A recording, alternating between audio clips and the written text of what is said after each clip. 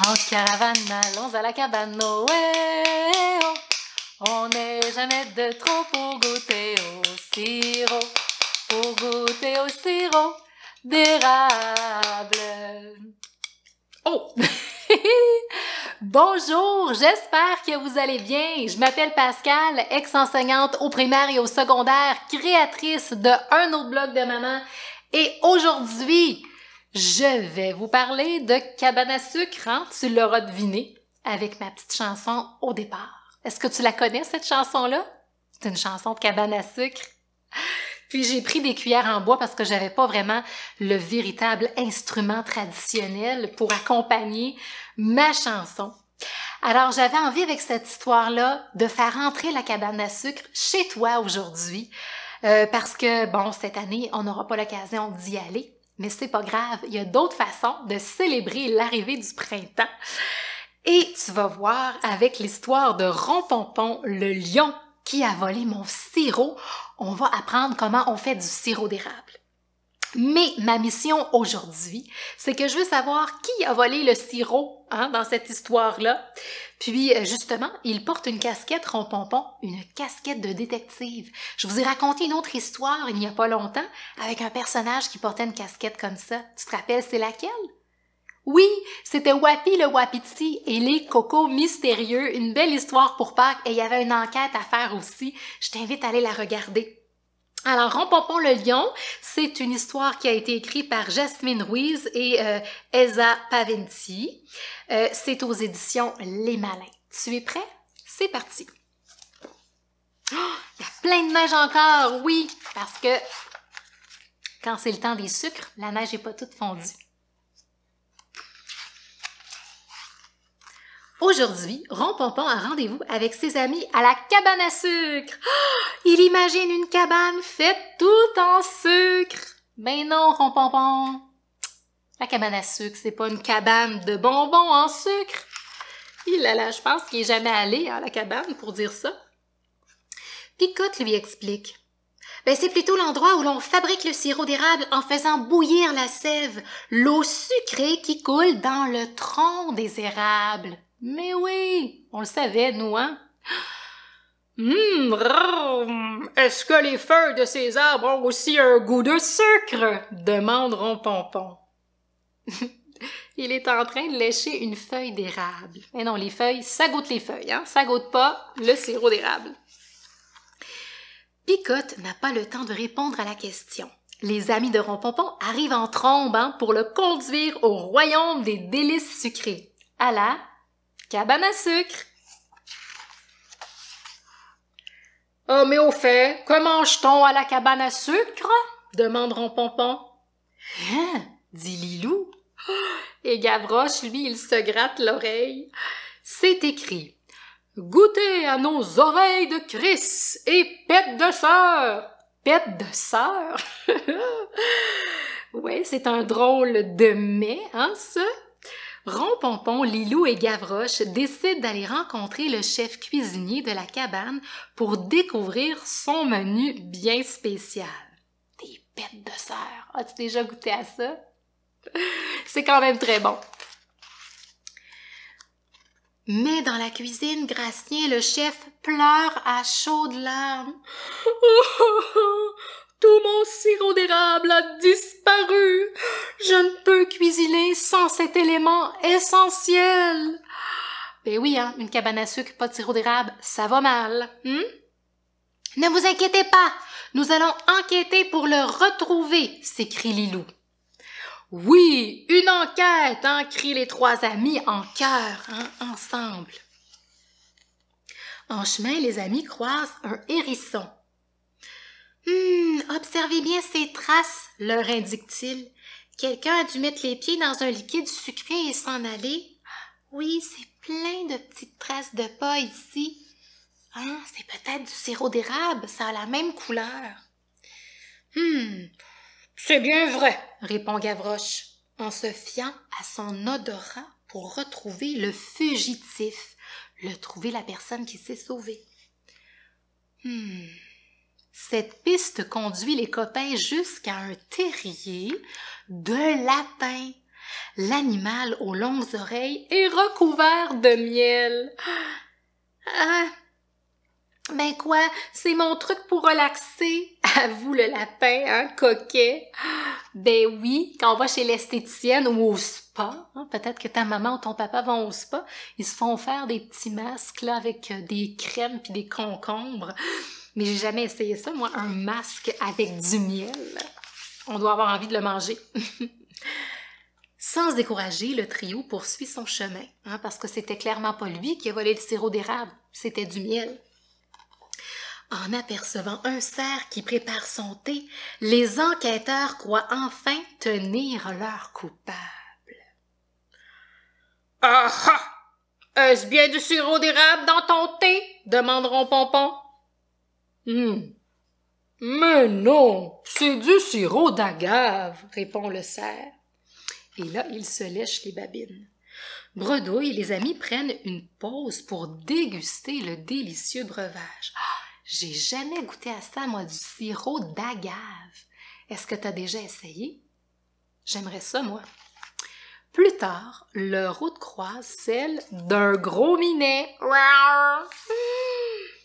Hmm. Et si c'était lui le coupable? avance Gavroche. Mais ce chat m'a l'air beaucoup trop paresseux pour voler quoi que ce soit, hein? rétorque Lilou. C'est pas lui qui a volé, hein? Tout à coup, un bruit attire leur attention. Ploc, ploc, ploc. On dirait de la sève d'érable qui coule dans un pot de verre.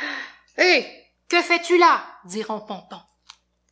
Euh, oh, suivez-moi dans ma demeure et je vais vous expliquer tout, répond le rongeur pris au dépourvu. Oh, il a été pris en fragrant délit. C'est lui qui prend toute l'eau d'érable. C'est avec ça qu'on fait le sirop.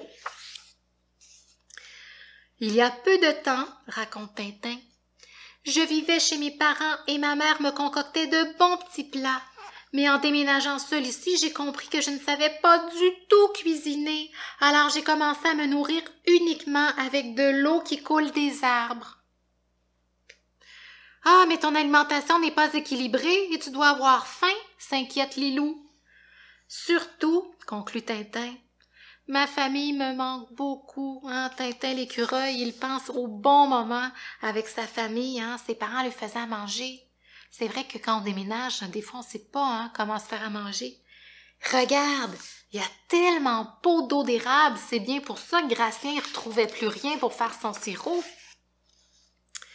On pourrait présenter Tintin au chef Gracien, qui se fera un plaisir de lui apprendre à cuisiner, hein, diront Pompon. Ah, ils ont élaboré un plan. Ils sont émus par son histoire et Gavroche s'élance vers l'écureuil pour le consoler. Ah, il lui donne un gros câlin. Hmm. Et en échange, poursuit Lilou, notre ami l'écureuil pourrait offrir au chef ses réserves d'eau d'érable pour qu'il concocte du sirop, hein, pour qu'il en fabrique. Ça, c'est un bon plan.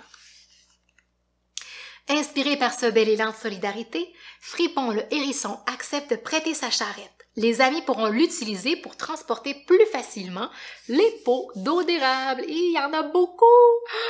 Toute une charrette pleine de sirop. Tout le monde pousse. Oh! Ou tire, hein? Tous mettent leurs efforts en commun et entament le trajet en direction de la cabane à sucre. Arrivé à bon port, la petite bande raconte son aventure au chef Gracien. Celui-ci s'empresse de vider les pots de sève dans une grosse marmite. Hein? Ils mettent tout, tout, tous les petits pots dans cette marmite-là. Hein? Et de porter le liquide à ébullition. Ça, ça veut dire qu'il le fait bouillir. Hein? Il va faire bouillir l'eau d'érable. Au bout de quelques heures, voire plusieurs heures, hein, nos amis constatent avec surprise que l'immense marmite d'eau d'érable n'a produit qu'un seul petit pot de sirop. Tout ça d'eau d'érable pour juste un petit pot de sirop, c'est vraiment pas beaucoup. Lorsqu'on fait bouillir la sève, l'eau s'évapore et le liquide se transforme en un sirop dense et sucré, hein, explique Gracien. On l'appelle le sirop d'érable. Affamés par leurs aventures, nos amis se réunissent autour d'un grand festin. L'ingrédient vedette, le sirop d'érable, bien sûr. Hein? Ça veut dire qu'il y en a dans tous les plats, dans les fèves les petites saucisses, dans la tarte au sirop d'érable, les oreilles de Chris, on sait ce que c'est maintenant, les pêtes de sœur, hein? des pâtisseries en forme de tourbillon. Et il y a même des œufs. Euh, ici, je pense que c'est des patates. Hein? Il y en a des choses. Tout le monde s'en lèche les doigts de bonheur, en particulier Tintin qui aujourd'hui s'est trouvé une nouvelle famille pour partager ses repas. Il est où Tintin? Il est là! Ah oui! Hein, finalement, hein, même s'il s'ennuie de ses parents, il a aussi retrouvé plein d'amis. Hein? Partager ses repas, c'est tellement plus agréable que de manger seul, avoue Tintin. Hmm? Surtout quand les plats sont aussi délicieux, constate Lilou. Eh bien, moi, je ne peux rien avaler de plus, déclare Ronpompon. Regarde, il se tient le bedon. Je pense qu'il a un petit peu trop mangé. Hmm? Ah. Même pas une dernière surprise, demande Gracien d'un air coquin. Le chef entraîne la petite bande à l'extérieur, devant la neige, sur laquelle ont été versées des coulisses de tir chaudes. Tout le monde s'écrie Hourra, de la tire d'érable! Ah oui, moi aussi j'en veux! Quelle belle façon de conclure cette journée fantastique, hein? s'exclame Pompon. Longtemps je me souviendrai de ma visite à la cabane à sucre. Et mon histoire est terminée. Et là, je suis certaine que tu sais qui a volé le sirop, hein? C'était ma mission. Oui, c'était Tintin l'écureuil. Tintin, c'est un drôle de petit mot, hein, un drôle de petit nom pour un écureuil. Je sais pas quel personnage tu préfères euh, dans, tous ces beaux animaux-là, mais moi, j'ai, je pense que j'ai un petit faible pour Gavroche le chien. Je vais maintenant euh, m'adresser aux parents et aux enseignants qui m'écoutent avec un album comme celui-là, ce que je trouve intéressant, c'est qu'on n'est pas vraiment dans un album de type documentaire, parce qu'il existe beaucoup de documentaires sur la cabane à sucre, le sirop d'érable, sur la transformation de l'eau d'érable pour en faire du sirop d'érable. Alors avec un album comme celui-là, surtout pour préparer une première visite à la cabane à sucre ou une première cabane à sucre à la maison comme cette année, ben on apprend les principales étapes pour faire du sirop. Alors même s'ils ne constatent pas euh, tout le travail effectué à la cabane comme si on y était. Mais lorsqu'ils vont y aller, ben ça va résonner en eux, ils vont se rappeler de l'histoire, puis vous, vous pouvez leur rappeler des passages de l'histoire pour qu'ils apprennent davantage tout, dans le fond, toute cette transformation, ces grandes étapes-là de transformation du sirop, hein, lorsqu'on la récolte avec les chalumeaux, euh, euh, lorsqu'on la récolte dans les seaux.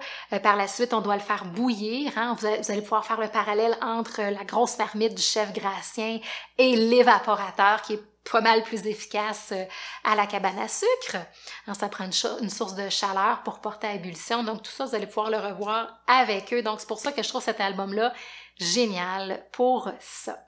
Alors, je vous invite à abonner à ma chaîne YouTube, à aimer, commenter, partager et je vous dis à la prochaine.